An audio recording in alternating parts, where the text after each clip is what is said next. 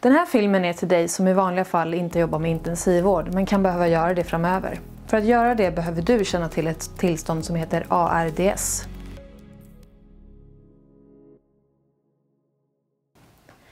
Jag heter Maria Längqvist. Jag är anestesi och intensivvårdsläkare i Lund.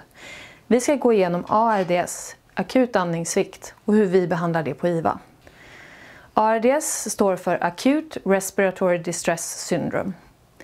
Orsakerna till ARDS kan vara olika, till exempel infektion direkt i lungan eller sjukdom någon annanstans i kroppen som ger multiorgansvikt och systemisk inflammation som angriper lungan. Den gemensamma nämnaren för all ARDS är dålig syresättning och ökat syrgasbehov. Det finns kriterier och gradering av ARDS som baserar sig på kvoten mellan syresättning i blodet och mängden inandad syrgas, den så kallade PF-kvoten. Alltså, ger man syrgas och får bra syresättning i blodet, då fungerar allting som det ska. Men om man ger jättemycket syrgas men blodet ändå har låg syresättning, då är läget riktigt dåligt. Ett ytterligare kriterium för ARDS är att det ska finnas lunginfiltrat på bägge lungorna. Det ser vi som den disiga ljusgrå skuggan på den här röntgenbilden.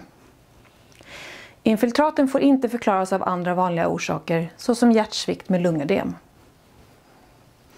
Svår ARDS har man till exempel om man med 10 liter syrgas per minut på sluten mask bara har en saturation på 90% Är man så här sjuk hamnar man oftast hos oss på IVA och behöver intuberas och läggas i ventilator.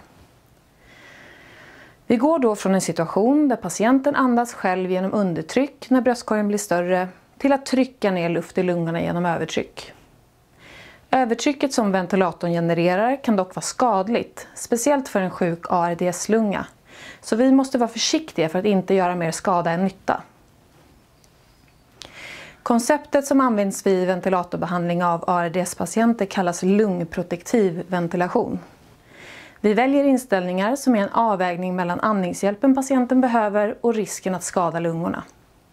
Därför vill vi med lungprotektiv ventilation hålla tidalvolymerna i ventilatorn åt det lägre hållet. Alltså, trycker du in volymerna man använder i vanliga fall, till, exempel till lungfriska patienter på operation, så krävs så stora tryck att du kan skada lungparenkymet. Tidalvolymen är mängden luft vi trycker in under ett andetag. Ett riktmärke är cirka 6 ml per kilo i ideal kroppsvikt. Idealvikt är vad du borde väga och vi använder det eftersom lungornas storlek inte påverkas så mycket om man är smal eller överviktig. Det betyder att en man som är 180 cm har en ideal kroppsvikt på cirka 70 kg enligt en av de beräkningsformlerna som finns, även om han väger 100 kg. Det ger en tidalvolym på 70 gånger 6 ml, det vill säga 420 ml.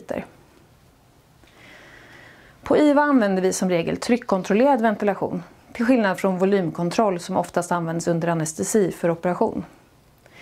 Det är för att tryckkontroll ger samma tidalvolymer fast med lägre tryck jämfört med volymkontroll och för att inte riskera plötslig tryckökning eller trycksänkning om compliance, det vill säga eftergivligheten, i lungan ändras vilket den riskerar att göra hos ARDS-patienter.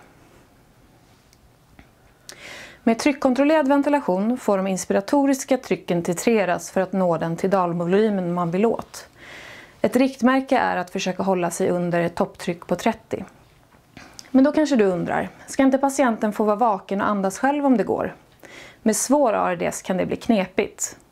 Patienter med svår ARDS kan nämligen ha väldigt stort andningsarbete som går i otakt med ventilatorn och dessutom kan den egna andningen leda till alltför stora tidalvolymer.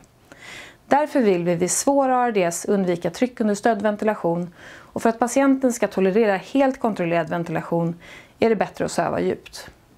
Vi kan till och med behöva muskelrelaxera för att slå ut egenandningen helt.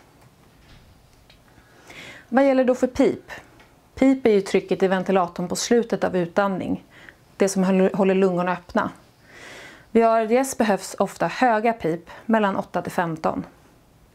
Risken med högt pip är att blodets återflöde till hjärtat påverkas, med lågt blodtryck som följd, vilket gör att inte alla patienter tål ett så högt pip som man annars hade velat ha.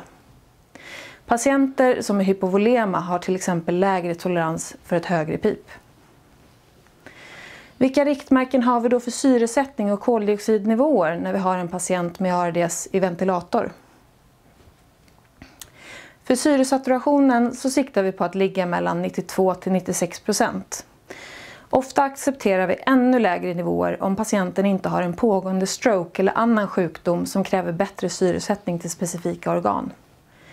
I ventilatorn är det PIP och halten inandad syrgas, FiO2, som påverkar syresättningen. Koldioxidnivåerna de påverkar vi genom tidalvolymerna och andningsfrekvensen. Eftersom vi vill hålla tidalvolymerna låga, kring 6 ml per kilo, så får vi ofta gå upp i andningsfrekvens istället för att få tillräcklig urvädring av koldioxid.